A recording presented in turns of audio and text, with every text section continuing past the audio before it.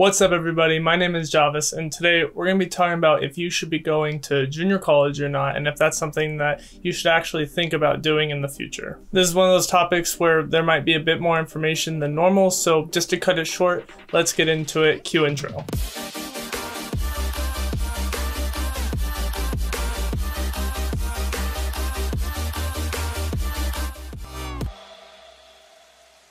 Okay, if you guys are new to the channel, go ahead and hit that red subscribe button and hit that notification bell right next to it so you can get a notification every time I upload a video. And now you can get a notification every time I start going live on this channel because I am going to be live streaming a bit more often this channel. I've think I've decided I ran a couple polls on Twitter. So if you ever want to kind of have an input in how the channel goes, I'm pretty active on Twitter and it's going to be the main place for that until I do get a little bit bigger and I'll be able to post my community uh, checklist tabs or whatever you want to call them so you guys can have an input on how the channel goes and kind of what you guys want to see. So I've kind of decided I'm going to probably do a bit more streaming and uh, I am probably going to cut it down to one video a week with more streaming in between so you guys can come come in and ask me questions, or maybe we'll be reviewing film, going over different diets, stuff to eat, things like that. And I hope that is something that interests you guys uh, because it's something that I actually really want to do. So yeah, go ahead and hit that notification bell like I said. Okay, so, what is junior college? You might have been exposed to junior college in a numerous amount of ways, whether it be someone from your school might have went to one, maybe there's one that's next to your house or close by or you know of one, or you've seen one on the Netflix series uh, Last Chance U. Whatever it may be, a lot of these are misconstrued on what junior college really serves its purpose for, Whereas I think pretty much the closest representation of what it is like is Last Chance U although some of it is dramatized, but at the same time, you know, it the reality of what these kids go through, especially in California where they don't have scholarships, and I'll get into that a little later, is they're really struggling and it's it is a hard time out there. So if it's such a hard time, I mean, why do people go to JUCOs? What what's the point? Why is it fun to have a hard time? Well, the point is people want to keep playing football. That's just what it is. And at that point in time, maybe that junior college is the only way that they can keep playing football. Now, before we get into the reasons why people might go to junior college and whatever reasons those may be, let's get into the different types of junior colleges so that you can understand what you might be getting yourself into if you were to jump into a situation like this, given that you clicked on this video. I thought it'd be good to let you guys know this. So first of all, junior colleges can be divided up into two main categories. They're the ones that are based in California, which are part of the CCCAA, the California Community College Athletic Association, and the NJCAA, the National Junior College Athletic Association. Now, the difference between these two are pretty stark and pretty clear. Basically, the main difference that everyone notes is that the ones in the NJCAA are able to get scholarships and those kids are able to be supported with dorms and other things that normal college students do get to enjoy. Sometimes those are like on-campus apartments, but not always so luxurious that you might think. It's still junior college. But at California junior colleges, there are no athletic scholarships, zero. The most that people rely on are grants, loans, and any type of uh, state grants maybe uh, instead of federal. So basically, if your parents either make too much or that school doesn't offer one from the state that you're coming from, or maybe your state doesn't offer a grant when you go to a school outside of your state, then you better be ready to pay a little bit out of your own wallet. Or hopefully you have some money saved up. Now maybe you have your money figured out and you're trying to decide exactly where you want to go to school. And you're looking at a couple different JUCOs or you're looking at JUCO, maybe a four-year university, something like that, and you're trying to decide if junior college is for you, if this is the type of program you want to go to. First of all, decide on what kind of program you want to go to, know what situation you're stepping into. And I do talk about that in a couple different videos and uh, I'll link the three ways to get recruited one right here. So you guys can check that out. It might be helpful to you in the future, especially if you are going JUCO because your recruiting process doesn't stop. Uh, it's actually continuing because you're still trying to move on to that four-year university. So basically you want to decide if you fit into a couple different categories. So one of the main reasons that people go to JUCO is because they simply don't have the grades out of high school to move on to the four-year universities.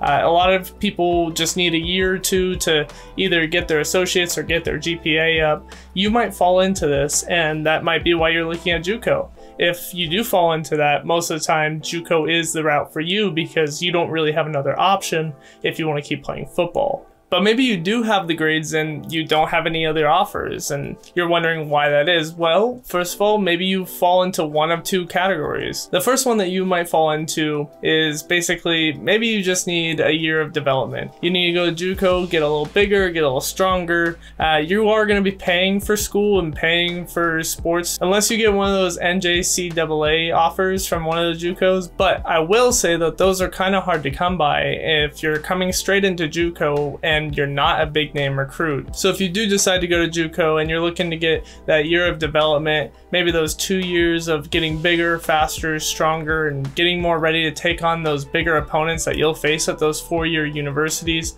then so be it. And that's what you gotta do to keep playing football. And we do it because we love it, and it's gonna be hard. I'm not gonna lie to you, it is gonna be hard, but it is going to be worth it if you put in the time and effort and you make sure to give it your all and you make sure to get your name out there.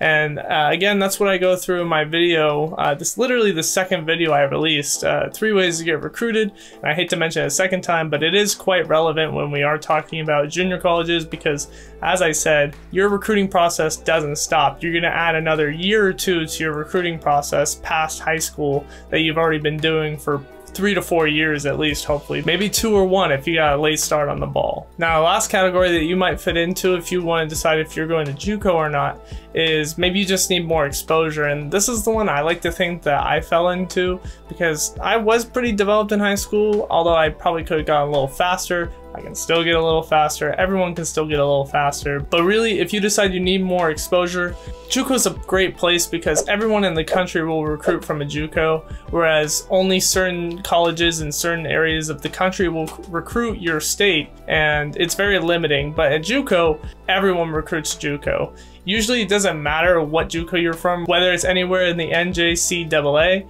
or in the CCCAA. To four-year universities, a JUCO player is a JUCO player. It doesn't matter where in the country they played, whether it was the NJCAA or the CCCAA.